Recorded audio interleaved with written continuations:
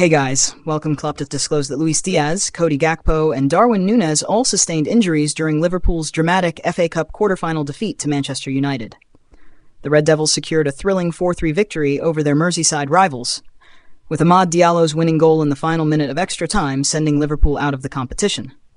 Liverpool held the lead twice but were equalized on both occasions, with Harvey Elliott scoring what he believed was the winning goal in extra time before United responded once more. Amad's late winner meant Liverpool didn't have a chance to force a penalty shootout, leaving the 9,000 traveling fans devastated at the final whistle.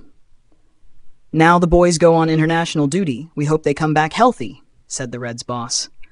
Lucho Diaz felt his groin, Darwin his hamstring. Cody twisted his ankle. They play again in four or five days. It's crazy.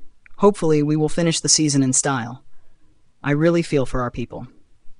United had a really good start in the game. We didn't, he said. We used the time and adapted well. We were outstanding, but we had to finish the game off, and we didn't. If you're only one goal up, it's clear your opponent is there. We lose it in the end. I cannot ask for more. The boys gave everything. Our decision making was not great, but you have to accept the result. They deserve to go to the next round. It was a period in the second half when we should have finished it, but we didn't, and we know they could come back.